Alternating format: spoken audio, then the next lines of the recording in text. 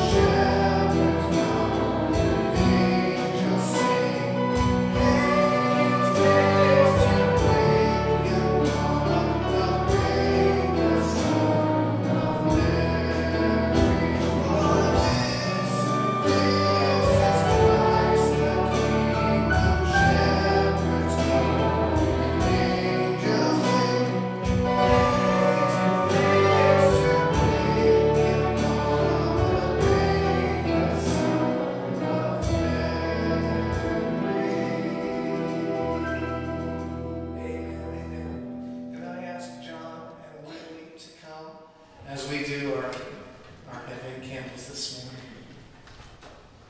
Crystal, can you use your microphone? Please? Thank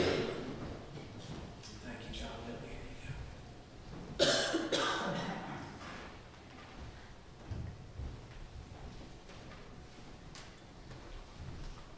All right,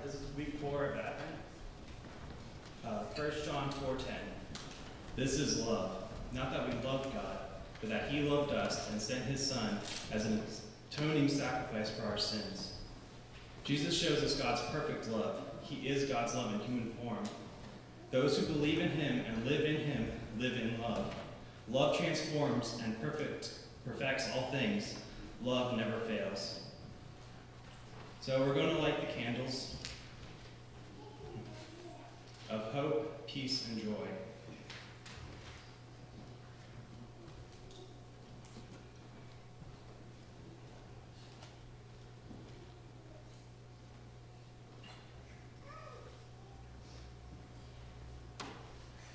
Today is the fourth Sunday of Advent, the Sunday of love.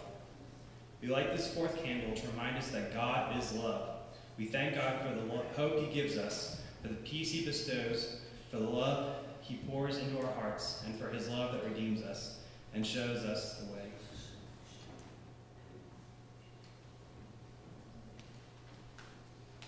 So I just want to take a word of prayer now. Dear Heavenly Father, we just thank you for all the sacrifice you made for us. So we just come with our hearts open to receive all that you pour into it this morning. Dear Father, we just we usher you into our presence right now. So we ask that you would come and fill this place with your presence. We just thank you and we love you, and we uh, just set this day apart and ask for you to be with us. In your name, amen. Amen, amen. Thank you, Jon, Thank you very much. Appreciate that.